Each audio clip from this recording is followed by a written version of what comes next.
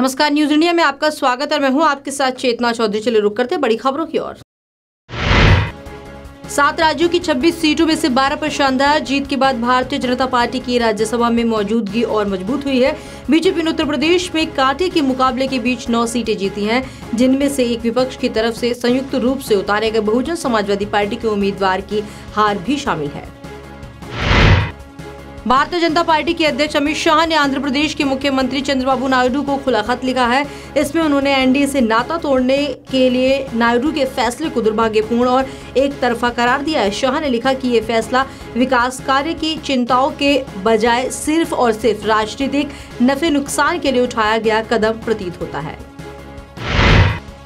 सामाजिक कार्यकर्ता अन्ना हजारे के अनशन का आज दूसरा दिन है। रामलीला मैदान में चल रहे इस अनशन में देश भर से आए किसान दिखाई दे रहे हैं। आंदोलन में शामिल होने के लिए लोगों से शपथ पत्र भी भरवाए जा रहे हैं कि वे राजनीतिक पार्टी में शामिल नहीं होंगे। वहीं अन्ना हजारे ने कहा है कि उन्होंने मोदी सरकार को तिरतालीस पत्र लिखे, लेकिन कोई भी जवाब नहीं मिला। राष्ट्रीय जनता दल के अध्यक्ष लालू प्रसाद यादव को दुमका कोषागार अवैध निकासी मामले में सजा सुनाते हुए सात सात साल की दो सजा सुनाई गई है। इसके साथ ही अदालत ने लालू यादव पर 30-30 लाख रुपए का जुर्माना भी लगाया है। चारा घोटाले का ये ऐसा चौथा मामला है जिसमें लालू यादव को अब तक की सबसे ज़्यादा सजा दी गई है। कर्नाटक दौरे पर पहुँचे कांग्रेस अध्यक्ष राहुल गांधी मैसूर में चामुंडेश्वरी मंदिर दर्शन करने के लिए पहुँचे।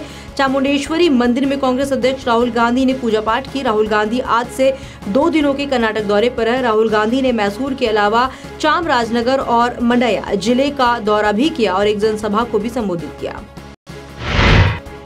दक्षिण कश्मीर के अनंतनाग ज़िले के डूरू में सुरक्षा बलों और आतंकियों के बीच हुई मुठभेड़ में दो आतंकी मार गिराए गए।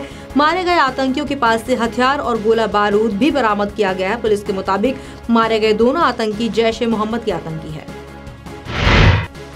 जेएनयू के छात्रों की शांतिपूर्ण प्रदर्शन पर हुए लाठीचार्ज और एक महिला फ़ोटो जर्नलिस्ट से पुलिस की मारपीट का वीडियो सोशल मीडिया पर वायरल हो रहा है। फ़ोटो जर्नलिस्ट का आरोप है कि पुलिस ने उसके साथ छेड़छाड़ की और कैमरे छीन लिए। दिल्ली पुलिस ने इस मामले में जाँच की बात कही है। वहीं कांग्रेस ने दिल्ली पुलिस पर हमला बोलते हुए गृह मंत्री राजनाथ सिंह से हस्तक्षेप की मांग की है। दिल्ली स्थित जवाहरलाल नेहरू यूनिवर्सिटी में बायोटेक्नोलॉजी के प्रोफेसर डॉक्टर राकेश भटनागर को बनारस हिंदू विश्वविद्यालय का कुलपति नियुक्त किया गया है। एंथ्रिक्स बीमारी से निदान के लिए जिस टीके का विकास किया गया था, वे डॉक्टर भटनागर की ही देन है। दिल्ली में हो रही पानी की किल्लत के मद्देनजर आम आदमी पार्टी के तमाम विधायकों ने हरियाणा भवन के बाहर प्रदर्शन किया। विधायकों ने हरियाणा सरकार पर आरोप लगाते हुए कहा कि हरियाणा की बीजेपी सरकार राजनीतिक द्वेष के चलते दिल्ली में तयशुदा समझौते के अनुसार पानी नहीं दे रही है। देश की राजधानी दिल्ली के अलीपुर इलाके के बख्तावरपुर गाँव में बारहवीं की क्लास की छात्रा ने पंखे से फांसी लगाकर खुदकुशी कर ली। खुदकुशी करने से पहले छात्रा ने एक सुसाइड नोट भी लिखा है, जिसमें उसने कहा है कि, मम्मी, पापा, मुझे माफ़ कर देना, मैंने कोई गलती नहीं की है। मुझे अब नहीं जीना, मुझे दिल्ली के लड़के जीने नहीं देते हैं। I love you mom and dad Uttar Pradesh के सहारनपुर में एंबुलेंस में ऑक्सीजन न होने के कारण एक 45 वर्षीय व्यक्ति की जान चली गई। परिजनों ने 108 एंबुलेंस पर लापरवाही और ड्राइवर पर बदतमीजी का आरोप लगाया है। साथ ही 108 नंबर के एंबुलेंस के हेल्पर ने ऑक्सीजन न होने की बात भी स्वीकार कर ली है। एनसीईआरटी ने बारहवीं की पॉलिटिक्स साइंस की बुक में बदलाव किया है। इस बदलाव के बाद अब स्टूडेंट्स को साल 2002 में हुए गुजरात दंगों को जानने के लिए सिर्फ़ गुजरात राइट्स ही पढ़ने को मिलेंगे। वहीं इससे पहले उन्हें anti Muslim riots in Gujarat शीर्षक के साथ गुजरात दंगों के बारे में पढ़ाया जाता था। भारतीय सैन्य अधिकारी और राजनयिक ने इस्लामाबाद में पाकिस्तान दिवस पर परेड में शिरकत की। इस परेड के लिए न्योता भेजने की पहल खुद chief of army staff general Qamar Javed Bajwa ने की। दूसरी तरफ़ भारतीय सेना प्रमुख भी चाहते हैं कि दोनों देशों के बीच रिश्ते में सुधार हो।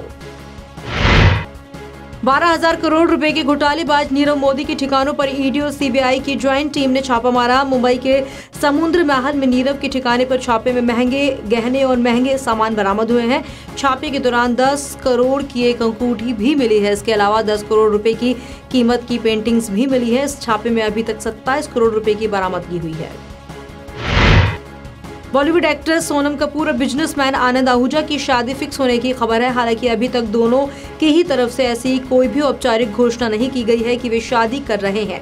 लेकिन खबर के अनुसार सोनम और आनंद इसी साल मई में शादी कर सकते हैं।